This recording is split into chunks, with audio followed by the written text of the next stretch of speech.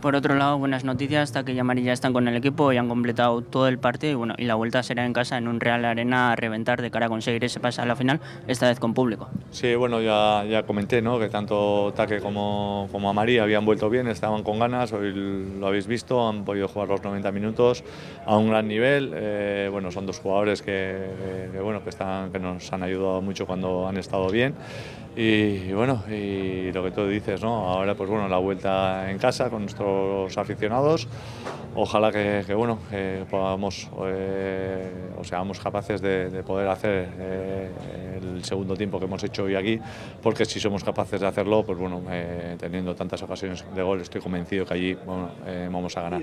Ha salido Manuel con el 11, pues probablemente el de París de la semana que viene con la salvedad evidente de Mikel Oyarzabal por Sadi Kumar. Entiendo que Mikel va a estar y que el resto va a ser pues los 10 que han jugado hoy con Amari con Taque de titulares. Hemos visto muy poquito de Taque Cubo en la primera parte. Os va a empezar con uno para Taque Cubo. No ha sido su mejor partido, es evidente, pero la segunda parte de Taque Cubo creo que hemos visto una versión muy buena del japonés que viene queráis o no, de un viaje muy largo, de un hostión tremendo que se ha llevado con la selección y que se ha levantado. En la primera parte no le han dejado prácticamente ningún uno contra uno, ha aparecido muy poquito, pero en la segunda sí, se ha marchado bien de Chaume Costa. Eh, Chaume Costa ha visto la amarilla en la última jugada por protestar con el tiempo parado, no por abrazar ataque Cuba, una jugada en la que Cuba ha hecho la del pivote de balonmano, ha ido, eh, balonmano de baloncesto.